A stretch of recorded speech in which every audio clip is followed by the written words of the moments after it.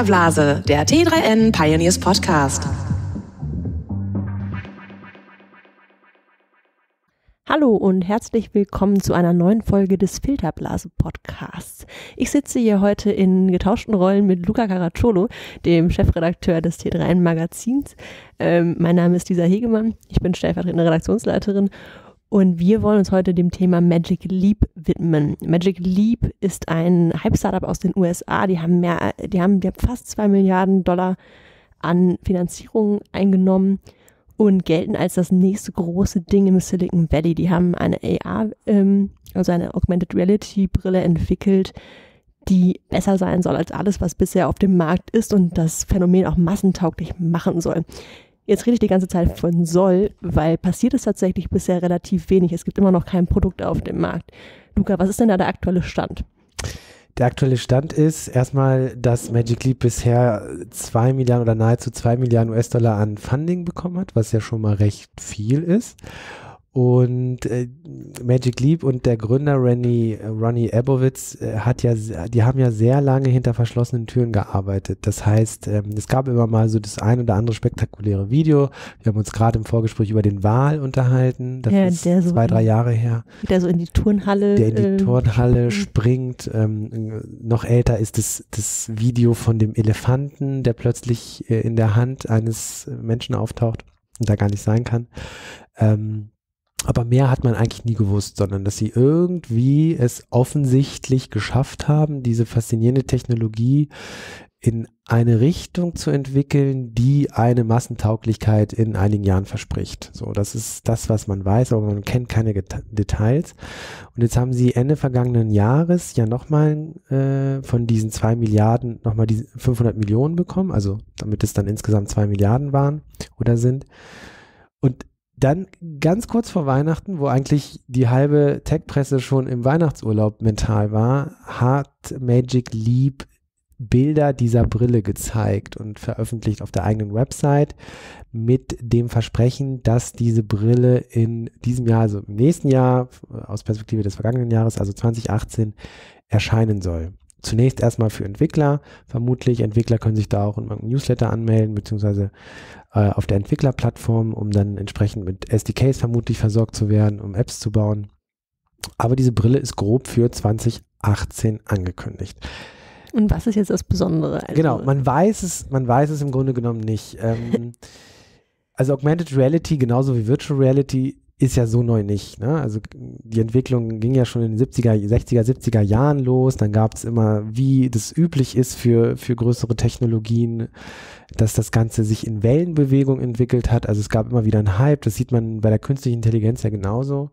Ähm, es gibt einen Hype um, um eine Technologie, da wird dann viel drüber geschrieben, äh, Zukunftsprognosen abgegeben und plötzlich stellt man fest, okay, so schnell geht das doch alles nicht und so viel kann die Technologie doch noch nicht und dann geht das erstmal wieder unter und dann kommt es irgendwann wieder und bei Virtual Reality war es ja 2012 dann soweit, als ähm, Oculus VR gegründet wurde und spätestens als Facebook äh, Oculus VR gekauft hat, 2014 für, ach, ich weiß gar nicht mehr, wie viel das jetzt genau waren, ich glaube zwei, zwei Milliarden.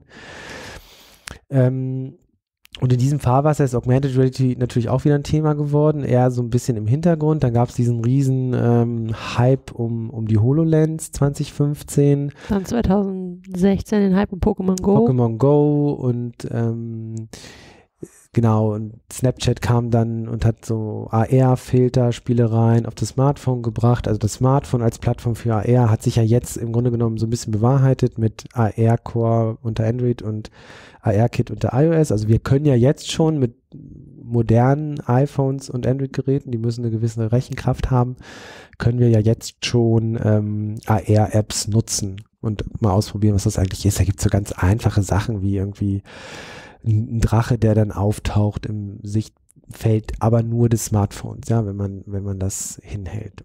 So, um jetzt äh, den Bogen wieder zu schlagen, was ist denn jetzt das Besondere an Magic Leap? Ähm, das Besondere an Magic Leap ist, dass sie es offensichtlich, man weiß es nicht, aber offensichtlich einen Weg gefunden haben, eine fortgeschrittene Optik in diese Brillen zu verbauen. Und um das zu erklären, muss man ein bisschen ausholen und äh, sich die Lichtfeldtechnologien anschauen. Also was sind Lichtfelder?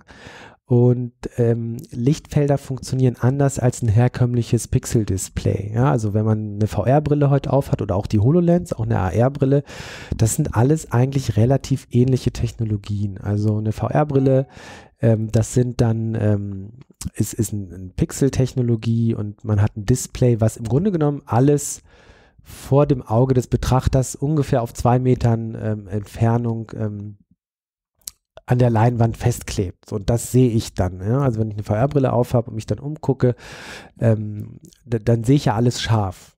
Ja, und 3D oder Entfernungen werden ja nur über 3D-Effekte vorgetäuscht. Aber sie sind alle wie auf einer Leinwand in einem fixen Abstand von zwei Metern festgeklebt. So. Und das ist halt, das widerspricht vollkommen dem natürlichen Sehinstinkt des Menschen. Das funktioniert so nicht. Der Mensch kann ja mit seinem Sehorgan, also dem Auge, entfernte Objekte äh, fokussieren und dann sieht er diese äh, Objekte in der Ferne sehr scharf und alles andere wird unscharf. Und das gleiche auch mit Objekten direkt äh, vor einem. Wenn man jetzt ein Buch hat und die Buchstaben äh, anvisiert, dann ist das sehr scharf und der Rest ist unscharf. Ja, also das ist ja, so funktioniert ganz grob und vereinfacht gesagt das natürliche Sehen, aber so funktionieren diese VR- und AR-Brillen aktuell nicht.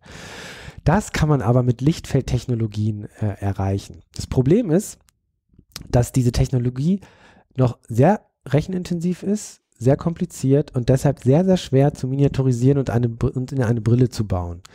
Ähm, es gibt auch andere Startups, die damit rumexperimentieren. Und wenn man sich da die Prototypen ansieht, dann weiß man, das ist noch alles ein bisschen kompliziert. Es gibt Prototypen äh, von diesen auch Multifocus-Displays genannten ähm, Bildschirm, beispielsweise von Oculus, die einfach so riesen Dinger sind, wo völlig klar ist, das sind Prototypen, das funktioniert vielleicht von der Idee, aber es ist ganz weit weg von einem äh, Produkt, was irgendwie auf den Markt kommen kann und irgendwie wie eine einigermaßen annehmbare Brille aussieht. So, und um jetzt wieder auf Magic Leap zu kommen, man weiß zwar nicht genau, was Magic Leap da verbaut, weil sie sich da wie überhaupt die gesamte Kommunikation bei Magic Leap eher so äh, Apple ähnelt, also total verschwiegen, nichts erzählen. Ähm, aber man mutmaßt, dass Magic Leap in die Richtung irgendwas äh, erreicht hat, also diese Technologie zu miniaturisieren. Aber unterm Strich weiß man es nicht. Mhm. Die ersten Rechner, glaube ich, die man davon gesehen hat, mal, waren auch noch, dass es irgendwie ein Rechner geschlossen war und eine Riesenbrille auf dem Kopf. Ähm, das scheinen sie jetzt zumindest gelöst zu haben. Trotzdem ist das alles noch irgendwie ein sehr großes Versprechen, von dem man nicht weiß, ob es eingehalten werden kann. Genau, wir wissen im Grunde genommen nach wie vor nicht. Es gibt, ähm, und es ist nicht so, dass es noch nie jemand ausprobiert hat. Also es gibt etliche Leute, lustigerweise auch viele Celebrities, die Magic Leap zu sich äh, ins Hauptquartier geholt hat, um das auszuprobieren. Da gibt es dann so witzige Anekdoten irgendwie, keine Ahnung, wer fand es total langweilig und andere sind total begeistert. Aber sie dürfen alle nichts erzählen. Ja, ich kenne halt selbst jemanden, der das ausprobiert hat. Ich habe ja auch einen Artikel jetzt geschrieben in der neuen Ausgabe des T3 Magazins und habe da mit jemandem gesprochen, der das letztes Jahr ausprobiert hat und der darf mir natürlich nichts erzählen, so. Aber was er erzählte, also die unter, müssen da NDAs unterschreiben und dürfen einfach nichts sagen.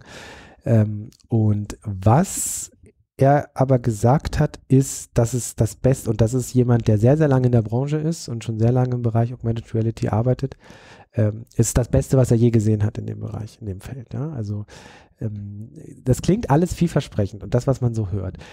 Es gab jetzt einen Tech-Journalisten vom Rolling Stone, der nach der Präsentation, Präsentation kann man ja eigentlich nicht sagen, aber nach diesen Veröffentlichungen, nach der Veröffentlichung dieser Bilder auf der Website Ende letzten Jahres das Gerät ausprobieren durfte.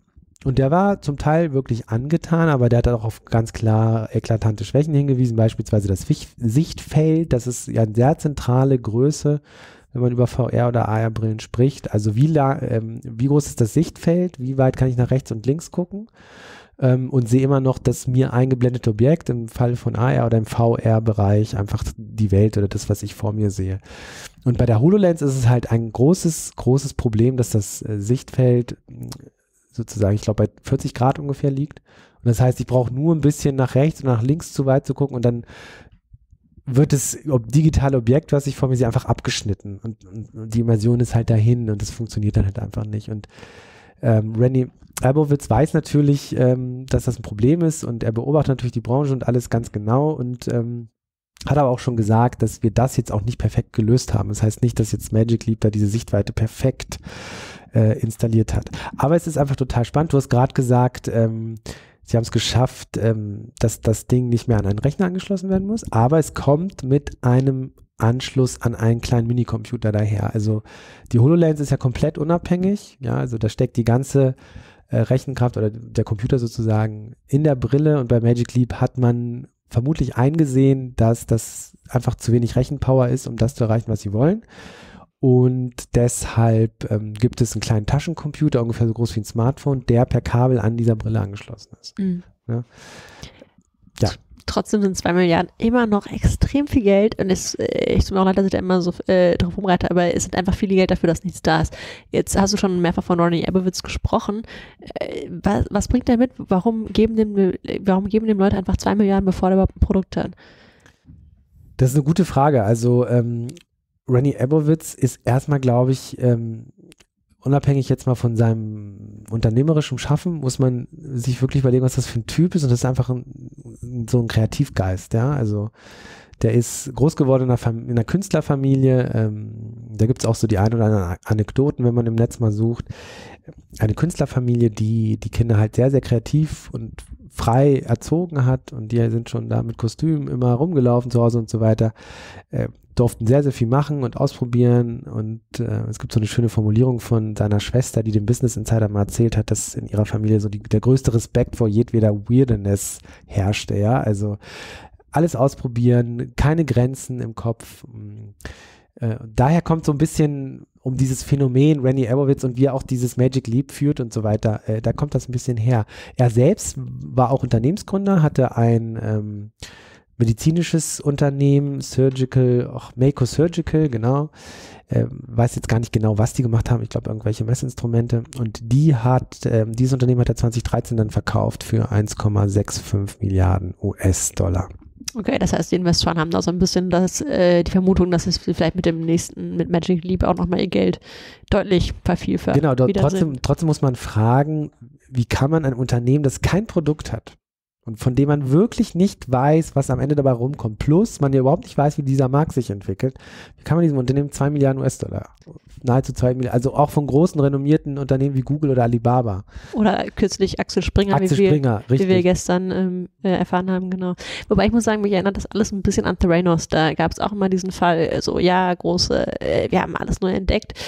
Und jetzt, und die hatten eine FDA-Zulassung, ähm, das heißt, die waren zertifiziert von der amerikanischen ähm, Medizinbehörde und trotzdem äh, muss ich sagen, bei Medical Deep gibt es jetzt schon ein paar Parallelen. Also ich glaube, Theranos war auch irgendwann mal mit 9 Milliarden bewertet.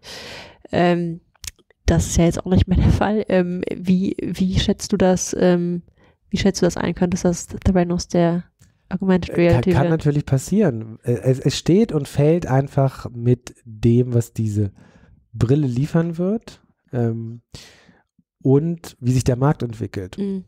Und da man beides nicht weiß, ist die Wahrscheinlichkeit jetzt nicht gering, dass, dass das ein zweites Theranos wird. Also vielleicht können wir das ganz kurz ausführen. Also es war ja so ein Riesenhype um dieses Startup, was auf Basis von einfachsten Blutuntersuchungen. Also du, die Idee war ja, dass du mit einem einzelnen Stich in den Finger so einen kleinen Bluttropfen nimmst und darauf basierend wirklich umfassende Blutuntersuchungen vornehmen könntest. Das hätte natürlich ähm, ja vieles verändert in der in der Alltagsmedizin vieler Menschen. Ne? Mhm.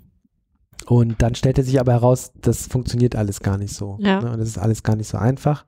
Und das war der große Fall eines der vielleicht meistgehypten Startups der letzten zwei, drei Jahre. Mhm. Ja, ähm, und, und jetzt muss ich die Gründerin rechtfertigen. Ich weiß gar nicht, was der aktuelle Stand ist. Weißt du das? Oder? Ähm, also es äh, gibt, sie darf ja zwei Jahre lang nicht praktizieren, also gar nichts irgendwie damit zu tun haben. Das Unternehmen gibt es, glaube ich, noch weiter. Ähm, also der, mein letzter Stand war, dass sie, äh, dass sie jetzt aber mit den normalen Technologien quasi die Bluttests machen, die sie eigentlich mit diesem neuen Modell machen wollten. Das war ja auch das, was irgendwann mal rausgekommen ist, dass sie gar nicht diese neue Technologie verwenden, sondern die, ähm, sondern die alte, die es quasi bisher auch schon gibt für Bluttests. Ähm, aber du hast gerade äh, was Interessantes gesagt. Du hast gesagt, der Markt, ähm, äh, man muss auch gucken, wie sich der Markt entwickelt. Das, was ich jetzt mitbekommen habe, äh, ist, dass es sich der gar nicht so gut entwickelt hat hm. für VR-Produkte. Hm. Ähm, wie schätzt du das ein?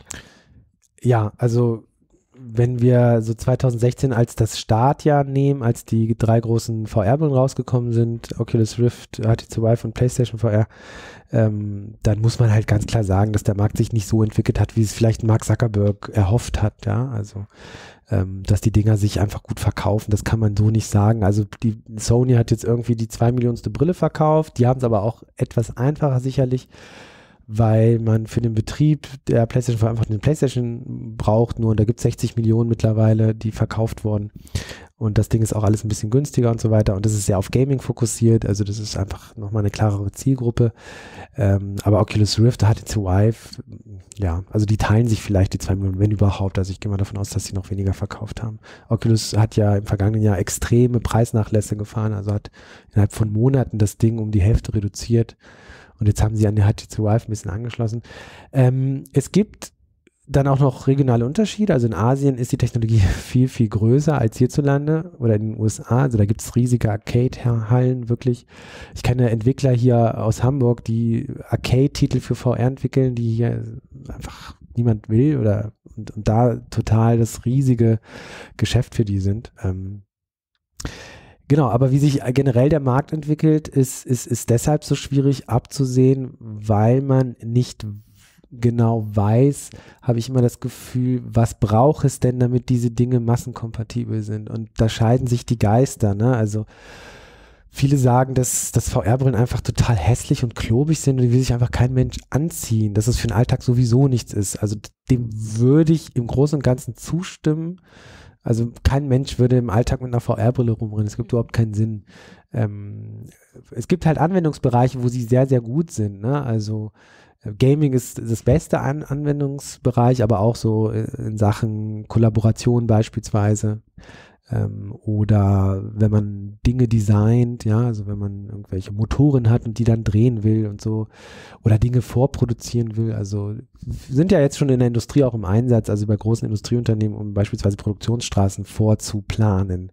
Da macht das alles Sinn, aber das ist ja alles weit weg von, von Massenmarktfähigkeit. Ich glaube, im Gaming könnte es ähm, früher oder später tatsächlich dazu kommen, dass, dass mal irgendein findiger Entwickler, die einfach die geniale Idee hat, aber auch im Gaming-Bereich muss man halt komplett neu denken. Du kannst nicht einfach ein Spiel, kannst du theoretisch schon einfach ein Spiel nehmen, was auf einer klassischen Konsole läuft und das dann portieren für VR. Das geht, das gibt's auch, aber so richtig für VR ist das dann nicht gemacht. Stichwort Übelkeit, Motion Sickness ist ein großes Problem auch der Technologie. Das ist VR. AR wird halt viel, viel äh, größere Massentauglichkeit äh, zugesprochen, weil es halt viel alltagstauglicher ist. Klar, wenn ich so eine Brille habe, ähm, aufgesetzt habe und damit rumrenne und sie sieht eigentlich aus wie eine ganz normale Lesebrille, dann, ne, warum nicht? Also, wenn mir da irgendwelche Notifications angezeigt werden, also ich, wie das Wetter ist oder Navigation, ne, wo muss ich lang gehen, sowas wie eine Smartwatch fürs Auge, wobei man da jetzt auch unterscheiden muss, ne? Es gibt diese Datenbrillen, sowas ähnliches, was Google Glass auch schon war und die wirklich weiterentwickelten echten Augmented Reality Brillen, wo wirklich ähm, lebensechte oder zumindest nahezu lebensechte digitale Objekte ins Sichtfeld gerendert werden und sich dann entsprechend auch natürlich verhalten. Das ist was ganz anderes als das, was Google Glass da gemacht hat. Ne? Mm. mm. Also nochmal der Elefant, äh, ähm, der in der Hand ähm, springt oder. Genau, das kann man mit, mit, mit, mit Datenbrillen, das kann man nicht machen. Das mm. funktioniert nicht. Ne? Also das ist ganz klar. Und das, was Magic Leap macht, ist eben echtes Augmented Reality, das, was auch die HoloLens macht. Ne? Aber die Brille sieht ja schon besser aus als die typischen äh, VR-Brillen. Also normalerweise hat man, äh, also für mich immer die ähm, Oculus Rift äh, die, der, oder HTC Vive, diese schwarzen Blöcke ja. quasi vor den Augen. Das sieht ja jetzt schon anders aus. Also ich habe jetzt schon mehr das Gefühl, dass es auch eine Brille ist. Könnte das einen Unterschied machen? Das ist die Frage. Also ähm, es sieht schon anders aus, sieht aber immer noch relativ creepy aus, aber es sieht schon, es, es hat schon, also ich glaube, Magic Leap sind die ersten überhaupt im Augmented, also Advanced Augmented Reality nenne ich das jetzt mal, ähm, in diesem Markt, die es zumindest versuchen, dass das Teil irgendwie wie eine Brille aussieht. Also wenn man sich so die anderen anschaut, ähm, so eine HoloLens hat total spacig aus, würde niemals irgendjemand im Alltag tragen. Ähm, oder auch die Meta 2, das ist auch so ein, so ein Projekt, ähm, ist halt wie ein, wie ein, wie ein, wie ein, wie ein, ja, wie so ein Raumschiffhelm, also so Astronautenhelm aus. Ja. Ne? So. Und, und ähm, ich habe auch mit einem Startup gesprochen, was, wir wissen es ja nicht genau, aber was angeblich eine ähnliche Technologie wie Magic Leap ähm, entwickelt, Evergant aus den USA. Und wenn man sich den, also die arbeiten auch, experimentieren mit Lichtfelddisplays ähm, ähm, und das Ding sieht halt wie ein Riesenhelm aus. Ne? Also das ist, ist erstmal cool, dass man es irgendwie auf etwas bringt, was äh, man sich auf den Kopf schneiden kann. Ne? Ähm, aber das Teil ist, sieht erstmal wie ein Helm aus und muss halt an einen leistungsfähigen PC angeschlossen werden, sonst funktioniert es halt nicht. Ne? Mhm. Weil, um das nochmal auszuführen, wenn man natürlich diese, diesen Multifokus-Effekt haben will, dass man unterschiedliche Objekte im Sichtfeld ähm, anvisieren und fokussieren kann, dann müssen die halt entsprechend oft gerendert werden. Ja. Und das braucht halt einfach Rechenpower. Gut, also äh, so genau, äh, was Magic Leap jetzt kann, wissen wir eigentlich ähm, äh, nicht, aber wir merken schon, dass irgendwie was passiert und ähm, dass es auf jeden Fall ein neuer Start für die ganze AR-Welt sein könnte. Ähm, oder zumindest ist das mein Eindruck. Was, wie siehst du die Zukunft? Was kommt da auf uns zu?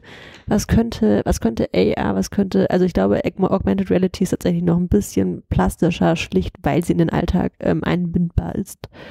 Ähm, ja, es gibt, es gibt verschiedenste Zukunftsvisionen und ähm, ich glaube, dass das kommen wird irgendwann. Ich glaube schon, dass man eines Tages äh, eine ausgefeilte Brille hat mit entsprechender Technologie.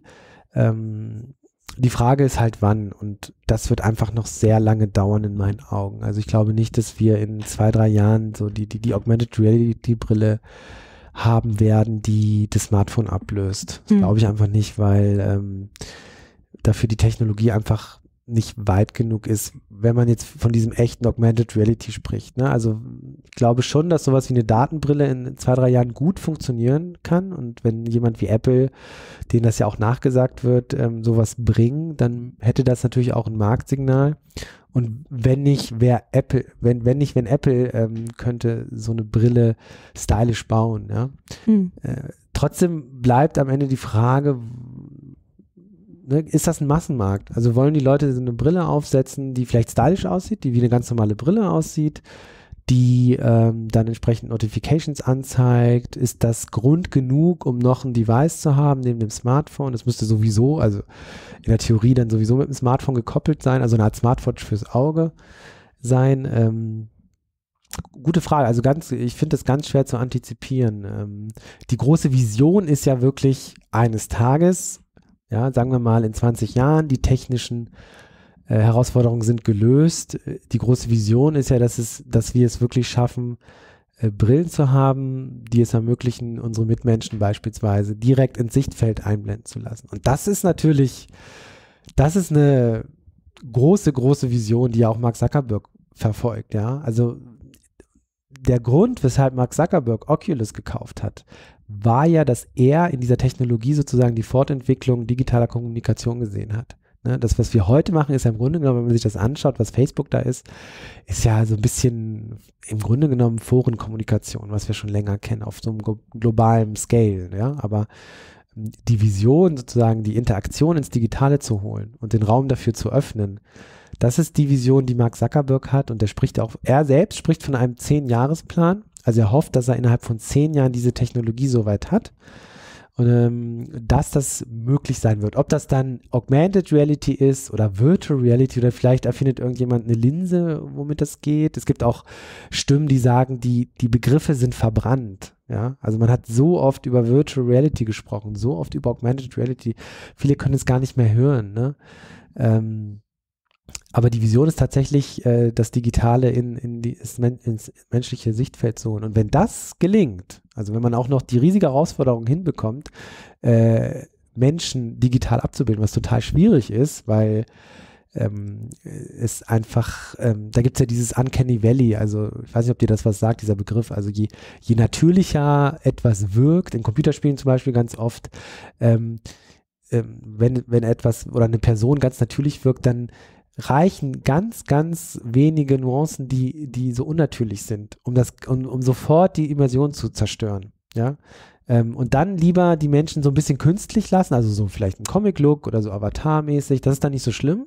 Aber wenn man versucht, sie realistisch abzubilden und da Nuancen nicht stimmen, dann funktioniert es überhaupt nicht. Hm. Das nennt man dieses Uncanny Valley und das ist halt bei digitalen Menschen auch so. Ne? Also wenn du jetzt zum Beispiel nicht hier sitzt, sondern in Berlin und wir würden trotzdem diesen Podcast aufnehmen, aber ich wünsche mir einfach, dass wir dieses Gespräch haben und du dann hier digital abgebildet wirst, aber irgendwas nicht stimmt, dann würde das komplett die Gesprächssituation sprengen. Das mhm. würde nicht funktionieren. Und ähm, das ist auch noch eine große Herausforderung. Aber wenn, nehmen wir mal an, das ist alles gelöst, dann ist das Potenzial gewaltig, weil ich dann plötzlich, ich meine, man muss sich das mal vorstellen, ja, also als wir früher äh, vielleicht auf, vor 100 Jahren auf Geschäftsreise waren oder so, und vielleicht nicht mehr das Tele, äh, nicht, oder allenfalls es das Telefon gab, es war so teuer, ein Ferngespräch zu führen und man konnte vielleicht eine Minute mit der Familie sprechen und das hat dann, keine Ahnung, 20 Euro gekostet. Ich übertreibe jetzt mal so, ne? Und ähm, wobei damals war es ja sehr teuer, genau. So, und wenn man, wenn man das jetzt mal weiterdenkt, wir sind sehr mobil geworden, wir reisen viel, also es ist völlig normal, dass, dass Menschen innerhalb der Woche irgendwie sehr, sehr viel unterwegs sind, ne? Lisa lacht, du ja auch. Du kommst, kommst aus Berlin nach Hannover jeden Tag. Ähm, aber jetzt stell, Tag, ja. Genau. Aber jetzt stell dir mal vor, ähm, das wäre nicht, zumindest nicht immer, aber es wäre nicht immer nötig, sondern stell dir mal vor, ähm, es wäre völlig egal, wo du wohnst, du könntest bei jedem Arbeitgeber arbeiten, weil du die Technologie dafür hast, dass du Personen so gut in die Räume holen kannst, dass es überhaupt egal ist, wo sie sitzt. Und das ist natürlich das ist, das ist wirklich revolutionär. Das Wort weißt du, sage ich nicht oft, aber das wäre wirklich revolutionär. Aber ich glaube, dass es bis dahin wirklich noch viele Jahre braucht. Und, aber deshalb und, und dann nochmal auf deine Frage zurückzukommen, ähm, wie, sie, wie sich den Markt. Genau aus diesem Grund sind die fast alle großen Unternehmen aktuell damit beschäftigt, in diese Richtung zu entwickeln. Weil wer da die erste Lösung parat hat, die funktioniert, ähm, der hat natürlich extreme, extreme Vorteile. Und Facebook ist natürlich, ähm, hat halt die Infrastruktur, die soziale schon da. Ne? Es ist also eigentlich nur logisch, dass Mark Zuckerberg das zumindest versucht. Mhm. Wobei man natürlich sagen muss, die ersten sind nicht immer die, die am Ende gewinnen, aber mit so viel Geld im Hintergrund ist es auch unwahrscheinlich, dass er, äh, dass er das investiert und das völlig verloren geht. Das muss man auch sagen. Vermutlich, ja. Ja, Gut, Luca, vielen Dank, dass du dir die Zeit genommen hast. Das war sehr spannend. Und ähm, demnächst dann in der äh, Augmented Reality vielleicht. Ja, oder der nächsten Ausgabe der T3N. Wer weiß. Genau. Wenn ihr mehr wissen wollt, lest die T3N 2, äh, 51, sorry, 51. Ähm, da hat Luca einen ausführlichen Text über das ganze Thema und auch nochmal äh, sehr detailliert über die Lichtfeldtechnologie geschrieben. Und genau, wenn ihr mehr wissen wollt, schaut da mal rein. Sonst bis zum nächsten Mal. Bis dann. Tschüss. Tschüss.